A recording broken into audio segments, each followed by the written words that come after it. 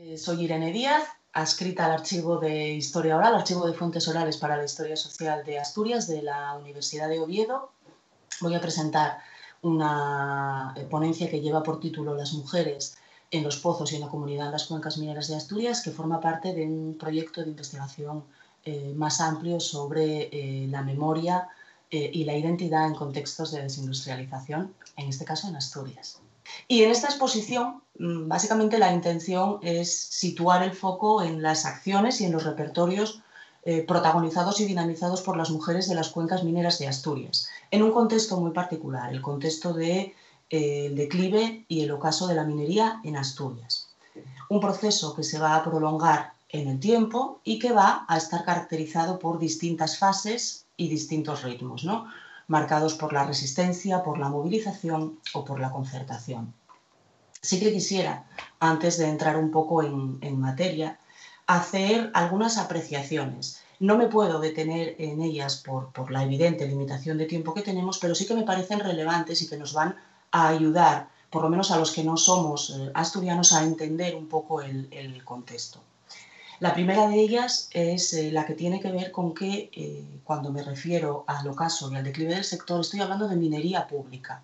Y hablar de minería pública en Asturias y en cierta medida en España es hablar de UNOSA, Hulleras del Norte Sociedad, Anónima.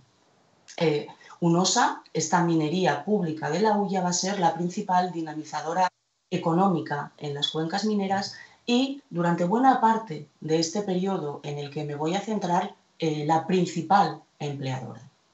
Esa es una apreciación. Otra apreciación eh, tiene que ver con que eh, quiero destacar, en el caso de la minería, el carácter estructural que va a padecer o que va a tener el, sector, el carácter de crisis estructural. Prácticamente desde los mismos orígenes de la, de la actividad extractiva tenemos que hablar de, crisis. En realidad va a ser muy breve, van a ser muy breves, sobre todo si lo vemos con la perspectiva del tiempo, los periodos de esplendor. Una crisis de la minería que se va a agudizar a partir sobre todo de la década de 1960. Otra apreciación eh, muy importante también para entender eh, de, lo que, de lo que voy a hablar a continuación es que mujeres en la actividad extractiva las ha habido siempre siempre ha habido mujeres en los entornos de los pozos trabajando en las minas. En realidad ha sido muy breve el periodo en el que no ha habido mujeres y esto me parece muy importante. Finalmente, otra apreciación eh, puede resultar obvia, pero bueno, la quiero hacer, es que hablamos de espacios, los de las cuencas, el entorno extractivo, muy masculino y masculinizado. Y estas apreciaciones muy rápidamente ya me dan la entrada a lo que quiero exponer. Acabo de decir que he titulado la intervención Las mujeres en los pozos y en la comunidad. Y esto es así porque eh, en realidad se trata de dos caras de la misma moneda, por así decirlo. Eh, en definitiva, hablamos de una cultura de trabajo, la minera, que traslada fuera de los pozos códigos y comportamientos. Y naturalmente esos códigos y comportamientos que se trasladan fuera del pozo a la comunidad también se trasladan desde la comunidad a los pozos, ¿no? de manera inversa.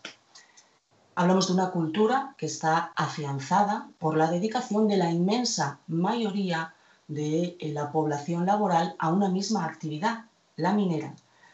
Tengo que insistir cuando nos situamos en las cuencas mineras de Asturias de que hablamos de un monocultivo productivo.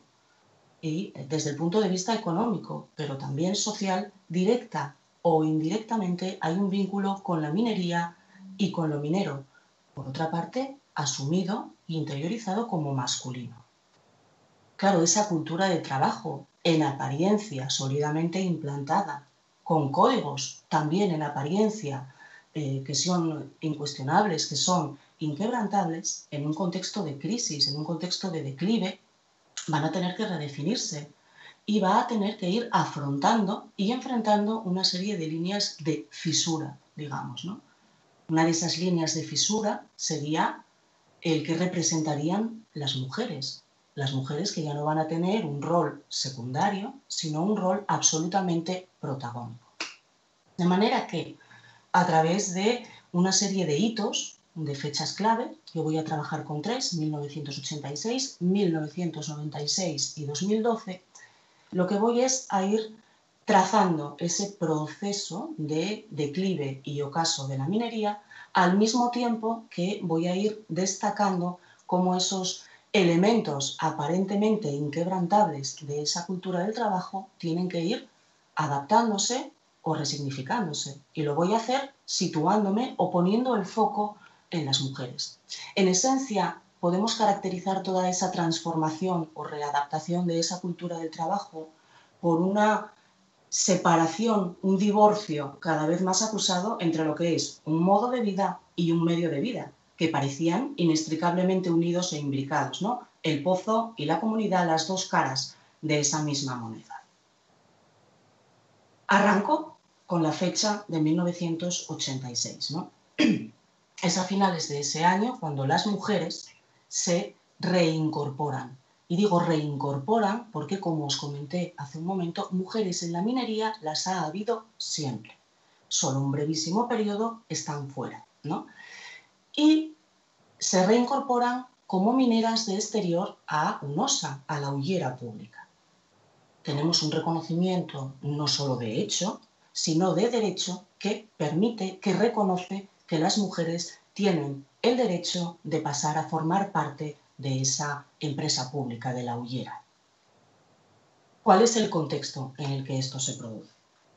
Bien, no me puedo detener, pero más allá de la enconadísima polémica sobre si una mujer podía desempeñar el trabajo, eh, si había musculatura, si había capacidad física, más allá incluso de una legislación que eh, por una parte eh, reconocía la Constitución, reconocía la igualdad de derechos para hombres y mujeres, pero contraindicaba o contradecía la legislación europea o la de la Organización Internacional del Trabajo, o un tema que, por poner un poco la, nota eh, irónica, que fue muy vivo en ese momento sobre qué haría una mujer cuando tuviera la regla. Eso se planteó vivamente en este contexto.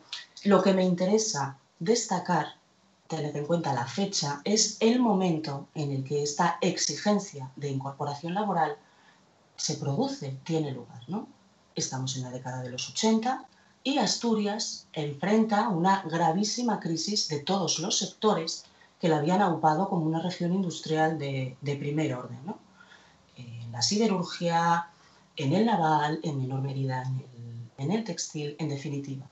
Los años 80 son los años de las grandes reconversiones, miles de pérdidas de puestos de trabajo, en definitiva hay paro y hay escasez pero en la minería pública, en UNOSA, sigue demandándose mano de obra. No olvidamos nunca, también lo había dicho, que eh, la minería va a padecer de manera endémica, sistemática y estructural una crisis, pero en este contexto de los años 80 todavía no está sujeta esta minería a esa reestructuración o a esta reconversión que ya afecta a otros sectores. Claro, en este contexto, en esta tesitura, entrar en la mina se convierte en una oportunidad.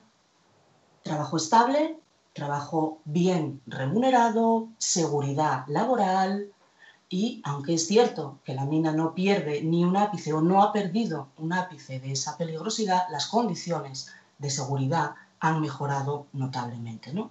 De alguna manera lo que asistimos es a aquellos que se pueden incorporar a la mina en los años 80, eh, viven en una suerte de chollo o se generaliza esta idea de, ostra, que te tocó la lotería, que entraste en la minería, que entraste en un OSA. Resulta muy interesante indagar en, eh, cómo cambia en un contexto de crisis eh, esa percepción de lo que nadie quería a lo que todo el mundo desea, pero no me puedo detener en, ese proceso. Lo que quiero destacar, sobre todo en el contexto de los años 80, es la batalla por el puesto de trabajo que se va a plantear a lo largo de esos duros años 80. Colectivos de parados, amas de casa con hijos o con maridos eh, sin trabajo se van a movilizar, ¿no? situándonos dentro de la hoguera, cuestionando cuál es el criterio de acceso a esta oportunidad laboral que supone ser minero. ¿no? Y en esa tesitura llegan las mujeres y reclaman acceder a un puesto de trabajo exactamente igual que sus compañeros eh, varones. estamos viendo que la política de afiliaciones, de incorporaciones, ya genera una suerte de quiebra en esa comunidad, esa otra pata de esa cultura del, trabajo. La incorporación de las mujeres también va a, digamos, a abrir otra línea de fisura. Y tenemos que tener en cuenta, que yo creo que es importante, sobre todo porque vamos a ver eh, otras intervenciones, no estamos hablando de pelear por sostener o por mantener el puesto de trabajo, sino por acceder a él. Y donde ya está la cosa complicada, llegan las mujeres y exigen lo mismo. ¿Qué ocurre? Ocurre que, a pesar de que ellas habían superado todos los baremos para acceder al interior, se quedan en el exterior. Es una victoria a medias, pero que reconoce de hecho y de derecho que las mujeres tienen eh, las mismas oportunidades y los mismos derechos para acceder al puesto de trabajo. Voy rápidamente de ahí a otra fecha que es clave, ya no estamos en los años 80, nos vamos a 1996. Decía que eh, la incorporación o reincorporación de la mujer a la, a la minería, a los pozos, había sido una victoria a medias, porque se quedan en el exterior, no se les permite el acceso al interior. En 1992, el Tribunal Constitucional reconoce que las mujeres pueden acceder al interior de los pozos. Y dos años después, de ahí la selección de esta fecha, de este hito histórico, en 1996, las primeras mujeres pasan a trabajar al interior de los pozos como ayudantes mineros. El contexto es muy diferente. Esa incorporación esa bajada a los pozos de las mujeres ya no se acompaña ni de huelgas ni de enconadísimos debates, no se suscita ninguna polémica. Pero es que estamos en los 90 y estamos en otro punto, en otro momento de ese calendario del declive, de la desindustrialización, del ocaso del sector minero que estoy trazando, ¿no? ¿Qué ocurrió? Situémonos años 90. Sintetizándolo mucho, la década de los 90 es la década del principio del fin de la minería asturiana. Hay una normativa europea que eh, exige que la minería tiene que eh, adaptarse, ser competitiva y si no puede ser competitiva, debe cerrar. Una exigencia de reducción drástica dadas las condiciones del sector en Asturias seguimos situándonos en las Navidades del 91 al 92, tiene lugar el histórico encierro de los dirigentes eh, de las principales organizaciones sindicales en el Pozo Barrero. Y de ahí se arranca, arranca una fase que sí se considera verdaderamente el principio del fin de la minería. Se alcanzan acuerdos mediante los que eh, va a haber eh, recortes drásticos de plantillas, cierres de pozos y sobre todo se consagra o se acepta ese calendario ¿no? por la vía no traumática, es decir, vía prejubilaciones. Ese es el contexto. En 1991, ese histórico, ese, ese eh, acuerdo de concertación, esa vía no traumática, daros cuenta de que apenas un año más tarde de esta reincorporación de las mujeres, eh, van a firmarse los controvertidos fondos mineros en un intento por, digamos, conjurar esa pérdida de, eh, de puestos de trabajo vinculados a la mina, los cierres de pozos y daros cuenta también que eh, a pesar de el hito histórico que representa esa eh, entrada de las mujeres al interior mm, de los pozos, eh, ha tenido lugar un accidente eh, que fue el último gran accidente de la minería asturiana, el del, pozo Nicolasa, y eso no pesa en la memoria cuando esas mujeres se reincorporan. Estamos en otro punto del proceso de declive y de ocaso de la minería asturiana y ya no hay esa polémica, esa tensión todo mm, transcurre de manera mucho más eh, normalizada. Y de ahí ya me iría directamente al tercer granito que quiero destacar en esta, en esta intervención. Se trata del año 2012, la última gran huelga de los mineros y el momento en el que nace el colectivo de mujeres del carbón en lucha.